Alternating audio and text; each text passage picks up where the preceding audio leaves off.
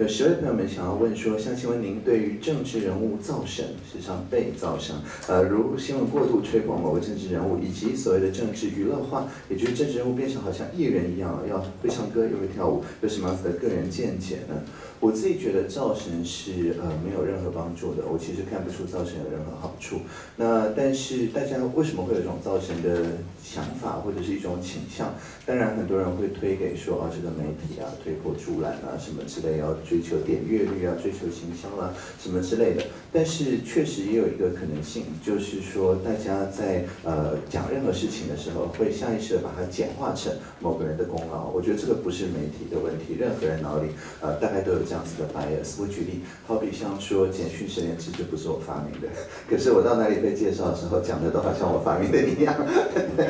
这个就我想不是老师刻意要造神，而是说在记的时候，唐凤两个字就比较好记。那但是实际上，当然就像我在简讯实验室的记者会上面讲的，这个主意是在一个叫居领威廉市政府的一个聊天室一个频道，那里面有这个一万人以上的朋友，当时同时都在想怎么样解决这个进场扫码。或者填资料很麻烦的这个问题，那里面就是呃有两位诚信网友啊，S S 陈跟 B 主陈，那他们提出了用简讯的这样子一个做法。那简讯实验室里面的每一个部分，那都是好比像五大电信商，好比方说 QR code 的制发，好比像说机管家一开始帮我们做专用的扫码器，那之后在大家的压力之下，LINE 加朋友那边也不得不加上去，所以也很感谢 LINE 公司。那台湾社交距离那边呃也做了一个专用扫码器去扫别的都不起反应。趋势科技也写了一个专用扫码器。那对于这个一九二二的这个减码，只有呃我们在地的五家公司可以，电信公司可以协议嘛。所以如果你是一个呃从国外漫游回来的门号的话，其实一九二二的这个简讯是传不到任何地方的。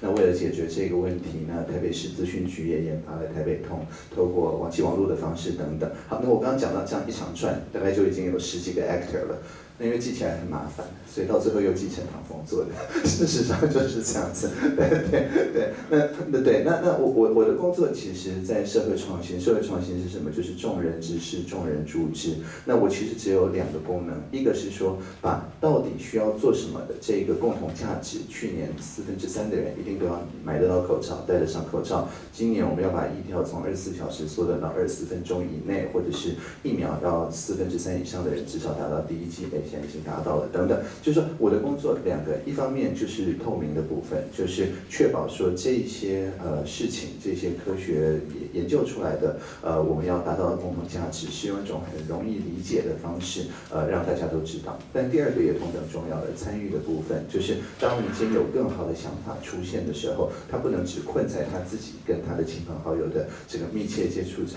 的那一群，好的想法是值得快速传播的。那我的工作就是让他的传。传播率，呃，就是基本传播力啊，平均一传十，十传百的时候，R 等于十嘛。那所以到我手上的时候，我可能就稍微再把它用一些空间的这个嗯增幅，那让它的 R 值可以从十一下就提升到二十、三十等等。那一下子大家都会觉得说，哎，那这个真的是很好用。那每个人呃都可以自己印一个 QR code，立刻大家进场就可以刷等等。那我就会去看说，哎，目前这个传播在哪些地方还没有传播到？我们要用什么样子的方法让简讯时间实验？在这些地方也传播得到呢，等等。那呃，去增加一个讯息的好的创新的基本传染数，呃，或者我们叫基本传播数，好的，不然哪里怪怪？基本传播数，那这个就是我的第二个，就是在参与方面的主要的贡献了。那所以呃，虽然说呃这两个工作，就透明跟参与的这个工作，都是社会创新跟开放政府的基本，但是哦，我们也发现说，确实就是你把一个讯息民营化，就是外面包上一个。让人一看之后就呃忍不住想要传的，就是。方法，那事实上也可以增加它的基本传播数。大家都有看过各种网络语音嘛？那我自己的做法就是把我自己的，包含这次演讲在内，所有的著作财产权跟所有的肖像权全部都抛弃掉。所以，呃，你就是拿我讲的一句话，然后说是你讲的，我绝对不会来告你。那你拿我本来是在别的地方的一段访问，然后跑去呃 mix 一个饶舌的音乐哦，在日本这里有一个叫做呃这个呃 Dos Monos 的一个乐团，就把我的呃。一场访问 mix 成了一个叫 civil rap song，变成了一个 hip hop 的一个音乐。哎，他也没有问过我哎，那但是因为他知道说 我不会告他，所以我我的一些想法哎，就因为这样的关系哎，真的在日本的传播数现变得非常高，可能比在台湾还高，所以是已经就是呃进入一种变种的概念。对，那但是呃因为不告任何人，所以也才让我们可以看到每个部会的朋友们，当他们自己有自己要宣传的东西的时候，他也可以承载在这个上面。我举例，好比像说之前客委会啊，为了要宣传他们的就是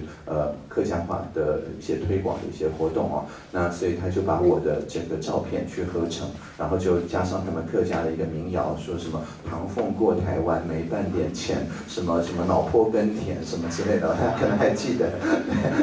所以后来脑破耕田就变成了一个迷音。那但这个迷音它实质上要推广的是是是关于客这个客家文化、客庄圈，然后呃很多的这种就是文史工作的的这件事情。但如果他不搭上这个迷音的话，其实大家连点进去呃额外的想要去看他的这个工作，可能一开始都比较困难。所以我觉得这个民音化它本身并没有善恶，而是说你把这个基本传播速度增加之后，你里面放的那个东西是什么？里面放的东西如果是真的值得去了解，你点进去看真的有东西的话，那我觉得这个就是有帮助的。但是如果里面变成一个很空虚的，就是啊点进去之后什么都没有，就纯纯粹只是民音本身的话，那当然就比较不值得我们投入公共资源去做这件事情。但是因因为我这些就是肖像权什么都是公开的，所以当然各部会的朋友或者民间的朋友要 remix 啊我的这个任何相片的时候，也不可能每一次都就是百分之百都呃做到我刚刚讲的这个条件这个标准啊，因为我对它没有控制权嘛，所以呃我自己的做法大概就是会不断的透过像今天这样子的演讲的方式，尽量多累积一些素材了，然后这些素材那之后希望大家 remix 的时候是可以回到这个脉络里面，但是如果没有回到脉络里面，说真的我也没有办法拿你怎么样啊，所以我 的个人见解就是呃我是一个素材，那呃我每次的演讲或者互动都是加到素材库里面，那我尽量把它导向就是你点进去之后可以看到更多资料，更多呃具体的讨论脉络这个部分，但是我没有办法呃就是规范二创三创的这些朋友一定都会做这样子的事情，那我觉得也没有必要去规范，希望回答这个问题。